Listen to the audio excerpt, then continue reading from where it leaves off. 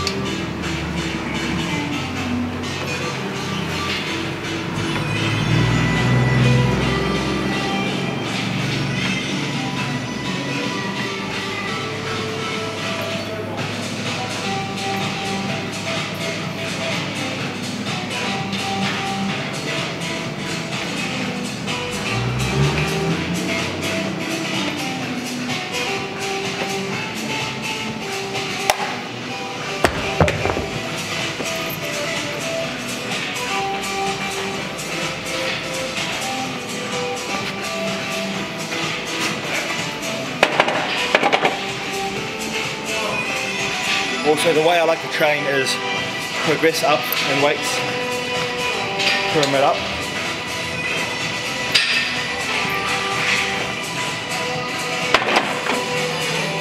So for example, my first set could be 20 reps, my next set I'll go heavier in weight, will be 15, and go heavier again, will be 12. And then eventually get to where there's a set, about 6 or 8.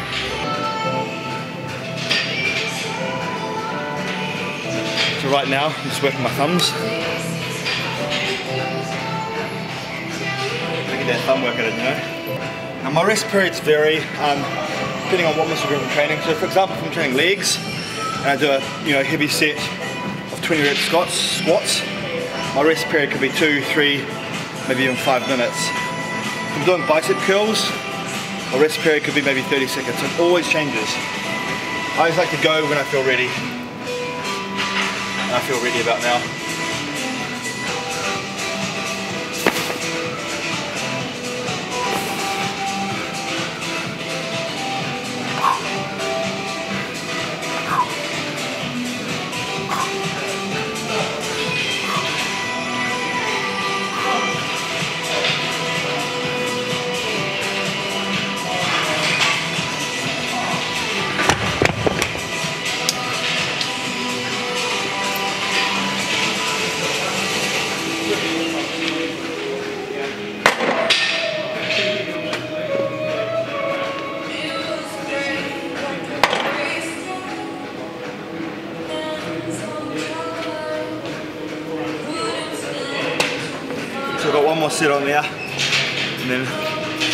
Next exercise and show you guys next chest tip.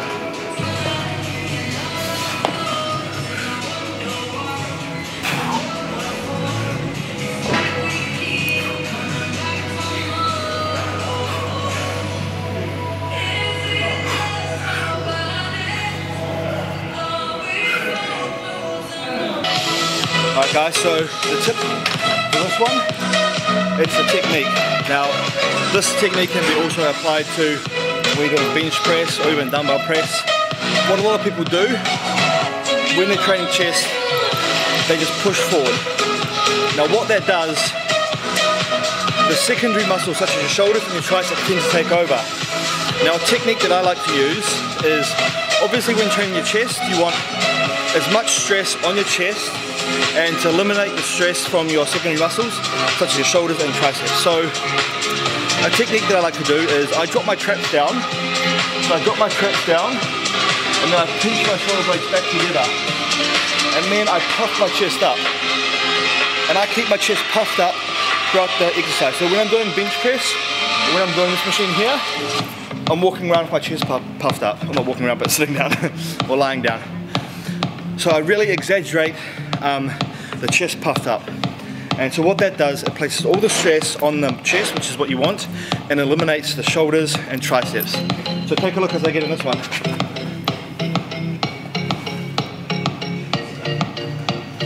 So this technique can be applied for bench press as well, guys. So drop your traps down, pinch your shoulder blades back together, and puff your chest up. Puff your chest up as much as you can. Keep it puffed up.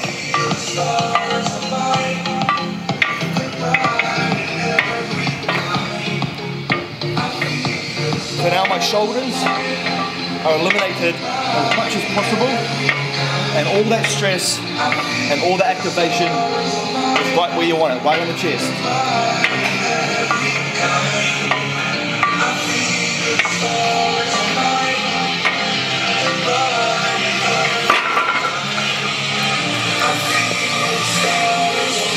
There's a difference between weightlifting and lifting weights to build the muscle.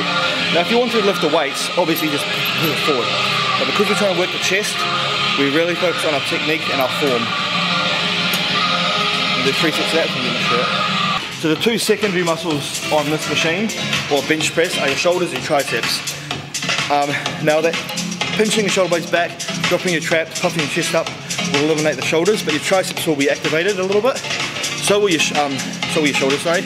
Your triceps are still going to be activated, but a technique that I've used for my triceps to deactivate them as much as possible is keep them flared. Now when, when you're doing bench press or a pressing exercise, if your elbows are too close to your body using a close grip, what do you end up doing? You end up pushing from the back of your arm. So you're pushing from the back of your arm, which is your tricep. So I always like to flare my elbows a little bit, not too much where it's to shoulders, just enough so the chest is doing 90% of the weight. You only want your secondary muscles to be your secondary muscles.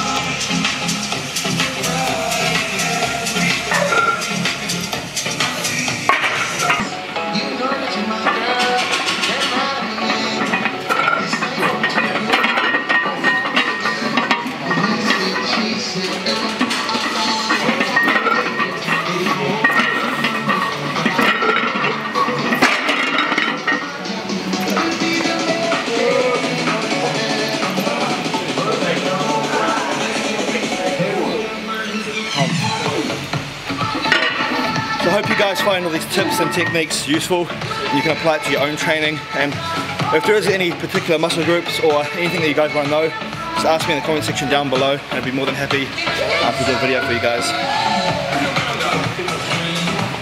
Always, always good to get content ideas.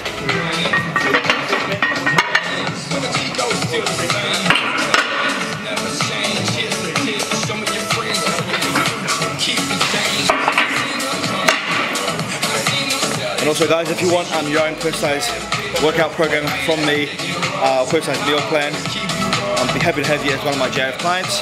Just visit the link that's on the screen right now and I'll be more than happy to create a workout program um, or meal plan for you. And the link to my website is also in the description box down below guys. Right, so third and final set. So again, drop my traps down, pinch my shoulder blades back together, puff my chest up, just pretend you're Arnold.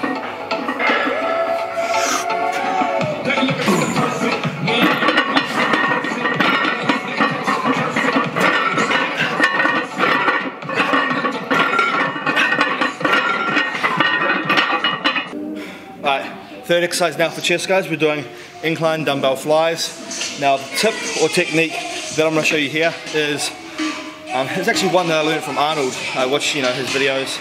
Um, now it's about using a partial range of motion. So when you're doing a dumbbell fly, what most people do, they come down like this, they get a good stretch, and they bring the weights right, and they touch the dumbbells together. What happens when the two dumbbells are touched together? Um, there's no force pulling against them, there's no gravity pulling against them, because they're just, they're resting on your shoulders basically. I could pick up, you know, the heaviest weights, not the heaviest weights, the end of the rack there, and just hold it above here, and it's not really putting any stress on my chest. My chest is getting rest. You don't want your chest to get a rest. So a technique that I like to use when training chest for flies is use a partial range of motion. So I get a big stretch, and then I only bring the weights to there. And if I only bring the weights to there, constantly the stress is on the chest because because of gravity, the weight's heavy and it's automatically pulling you down. So your chest has to fight to keep it there. Now, if I bring it all the way and connect, the, the stress is gone from the chest. So it's really important when doing dumbbell flies to use a partial range of motion. Don't connect the dumbbells together. You can connect your hands together if you're using the pec machine or the cable machine. Because when you bring the weight all the way together, because it's a machine, because it's a cable, there's still tension pulling against you. So it's still going to be stress on the chest. However, when you're using dumbbells, just go partial range of motion.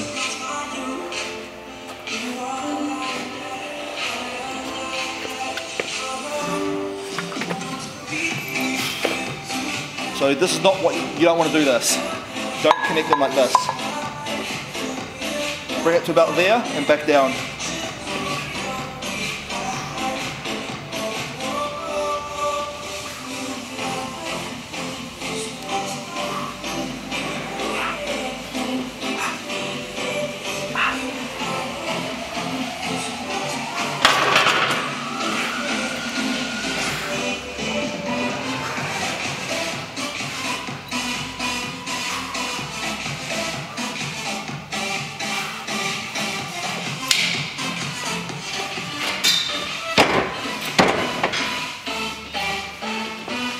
Muscle growth is from overload. Now, there are many types of overload. There's stress overload, there's repetition overload, there's weight overload. So when you're doing this exercise here, it's just constant stress, constant tension on the muscle, and that's going to produce overload on the muscle, which is going to lead to muscle growth.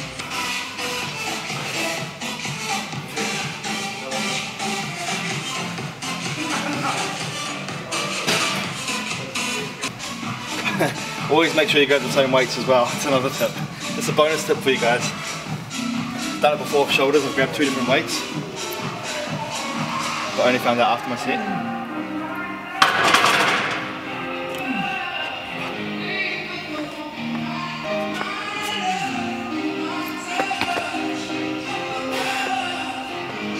partial. Big stretch, partial, partial.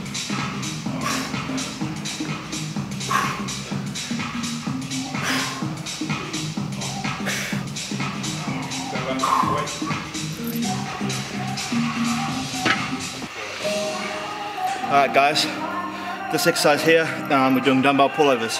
Now this is a very old school exercise uh, and the tip or technique for this exercise is you want to focus on having a very good muscle-mind connection. So don't just go through the movement, don't just go through the exercise. Um, what a lot of people do, they just they just do the exercise without actually having that good muscle-mind connection. So don't just pull the weight over and bring it back. What you have to do, have to really focus on the muscle being worked. So when I do my dumbbell pullovers, I get a good stretch through the chest, and then with my mind, I really think about what I'm trying to work, which is my chest. So with my mind, I connect it to my chest, and I focus on pulling the weight down with my chest, and then contracting and squeezing. And then I focus the weight getting a big stretch, and then using the chest to pull the weight. So I'm really focusing on my chest muscle being worked and not just moving the weight. Muscle-mind connection is probably one of the most important things to developing and growing your muscles. You have to have that connection in everything you do actually. Especially with biceps, you know? People in the gym curling biceps like this. It's so much more effective if you can really feel, squeeze and contract the muscle. It's all about focus. So now I'll show you how to do them.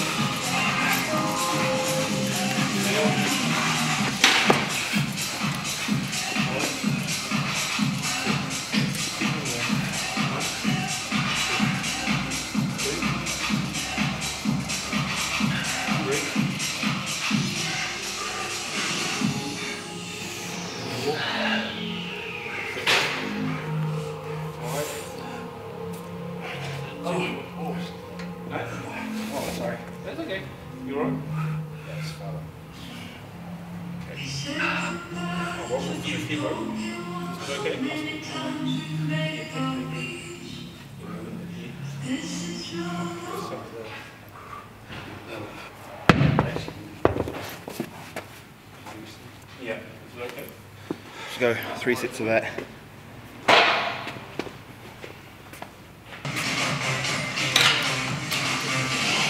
Pro tip, when you forget your towel, use your t-shirt. Yep.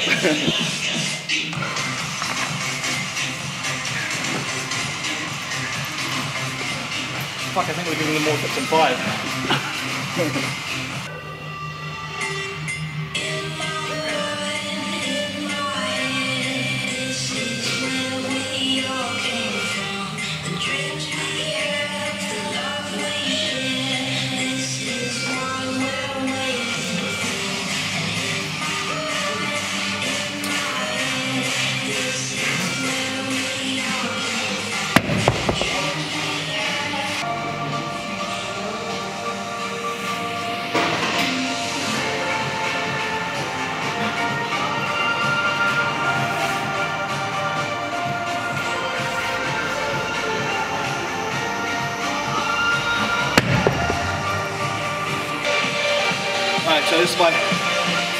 final exercise for chest.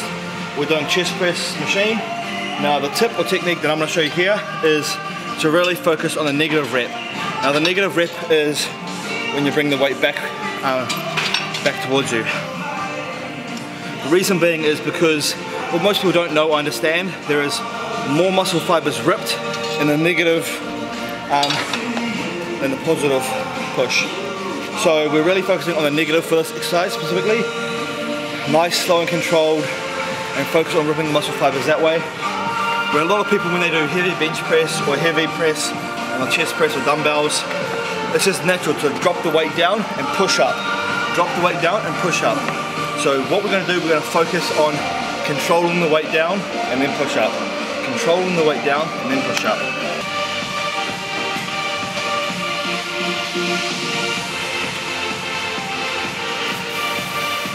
About four seconds on the way back. So this is what most people do, they got this.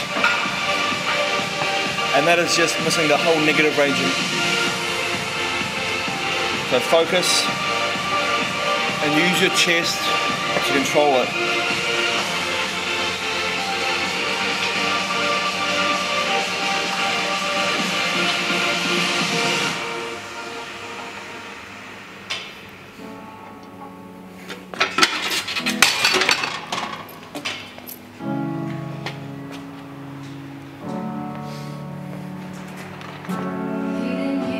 Go three sets of that, guys, and that'll be the end of the chest workout today. And there was five tips or techniques that you may or may not have known. If you didn't, hope you learned something new. yeah, like I said before, guys, if you've got any um, specific videos that you want me to do or film or talk about, just post down in the comment section below. And I'll be more than happy to answer your questions or do a full video for you. Two more sets.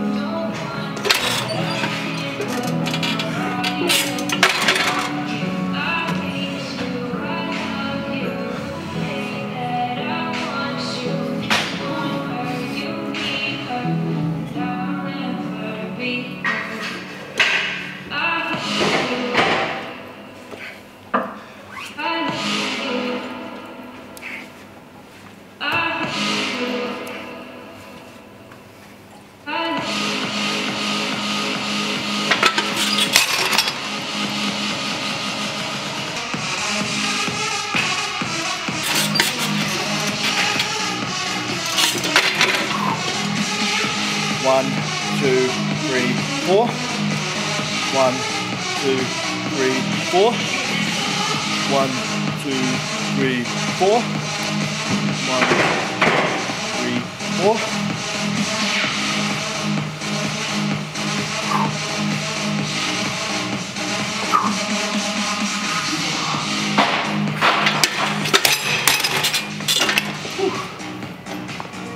And there you go guys, that was the end of my chest workout. Hope you enjoyed it, hope you liked it. Um, new videos every single day, so make sure you subscribe to my channel. And if you do need help with a personalized meal plan or workout program, visit my website. Uh, the link is down below in the description box. Thank you for watching. Now it's time for me to get some sushi.